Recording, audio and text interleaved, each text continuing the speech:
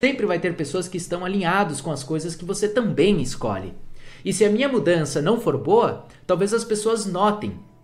Eu digo, e se a minha mudança for tão boa, talvez as pessoas notem que é bom. E elas também queiram ir por esse caminho. E aí entra a minha oportunidade.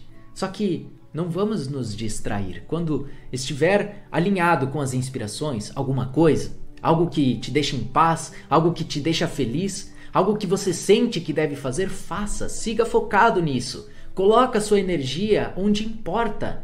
Ultrapasse a zona da resistência. Descobrir quais coisas, o que realmente é importante para você, é estar vivenciando a filosofia. É vivenciar essa filosofia que é purificar no presente, purificar no amor e focar nas coisas que importam pra gente, as coisas que nos interessam, colocar a energia para que cresça aquilo em que eu acredito aquilo que eu quero que mude. Só que é sempre preciso fazer a nossa parte.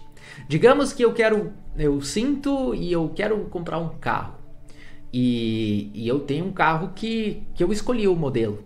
E para eu trazer esse carro para minha realidade, eu preciso começar a trazer informações sobre isso para minha realidade, para começar a vivenciar. Eu coloco meu foco nisso. Então, eu abro o site, eu olho os carros, eu abro os anúncios, eu vejo, eu faço um test drive se for possível, eu eu começo a ver fotos desse carro, eu eu trago esse carro para minha realidade, por mais que seja mental no primeiro momento, mas eu coloco o meu foco nisso.